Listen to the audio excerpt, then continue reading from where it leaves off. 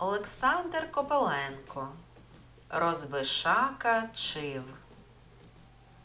Скорочено. Це я дав йому ім'я Чив. Чив жив над вікном другого поверху того будинку, що навпроти мене. Там у стіні була якась щілина. Чив вигнав звідти старого горобця боягуза й оселився сам. На порозі його оселі я вперше й побачив чива. Це було ясного осіннього ранку.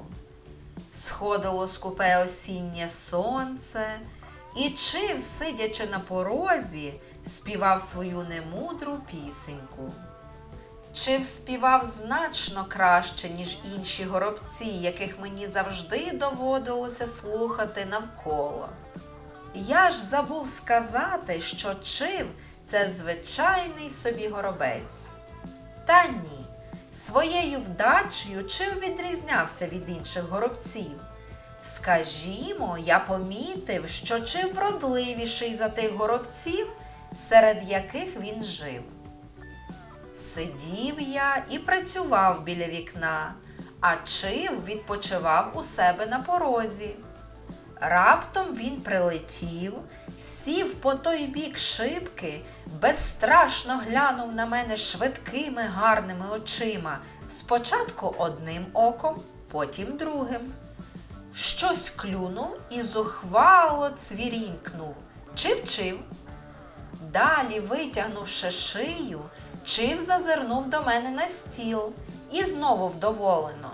Чив-чив. Тільки був чив зухвалий розбишака. Сидить він у себе на краєчку щілини й озирає весь видимий світ. Йому вже не хочеться їсти, а кортить затіяти бійку. Чив бачить купу свіжого сміття у дворі. Там є щось смачне, бо статечний горобець поспішає докупи зі своєю тихою сіренькою горобчихою. Чи вмиттю падає теж на ту саму купу і під самим носом у статечного горобця клює смачні наїдки? Чив нічого не дає статечному горобцеві. Той образився й настовбурчив пір'я. Цього лише й чекав чив. Він присідає на ліву лапку, а правим крилом знизу вгору б'є статечного горобця в бік. От уже й щинилася сварка. Підскочили ще троє сусідів горобців і стали на боці ображеного. Усі вони гуртом пішли в наступ на чива, та він не злякався. Він майже ліг на землю грудьми, розкрив крила, настовбурчив сердито чубчик і завзято оборонявся від п'ятьох. Він не дозволить себе ображати. Друже, ти на каналі Наталені Казки.